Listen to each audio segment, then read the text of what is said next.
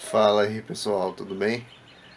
Tô aqui para deixar um recadinho rápido para você que tem interesse em desenvolver seu instrumento, no contrabaixo. Fica a dica para todos vocês para procurar aí o trabalho do Diego Randi.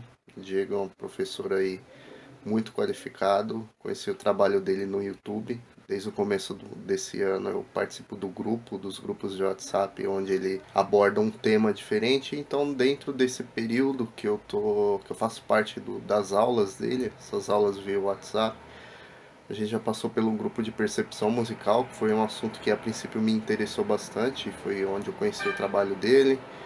Depois já passamos pela parte de escala maior, chord melody, agora nesse último trimestre, vamos dizer assim, foi abordado o tema do slap. Então fica aí a minha dica, meu conselho para você que quer aprender é, contrabaixo, quer se desenvolver no instrumento, quer melhorar seu vocabulário, quer melhorar as suas, as suas ferramentas, o modo de você to tocar. Procura o Diego Randi, entre em contato com ele, procura material dele no YouTube, tem muita coisa, tem muita dica lá gratuita, tem live gravada com muita coisa interessante, tem vídeos onde ele posta tocando, ensinando, vale muito a pena. Então se você quer aprender contrabaixo, procura o Diego, é, fala com ele e você não vai se arrepender. Fica aí a minha dica para você, minha dica valiosa, vou dizer que o Diego é um cara muito profissional, vale muito a pena.